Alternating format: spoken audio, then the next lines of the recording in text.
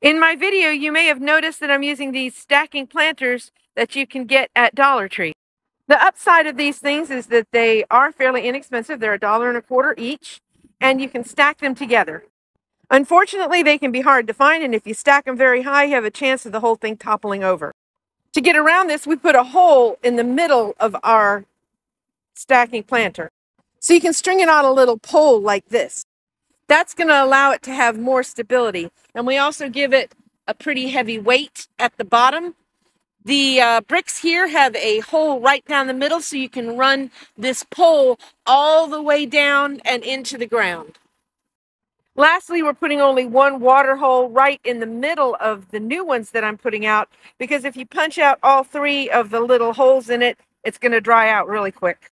So that's what we do to make our planter more stable and hold more water.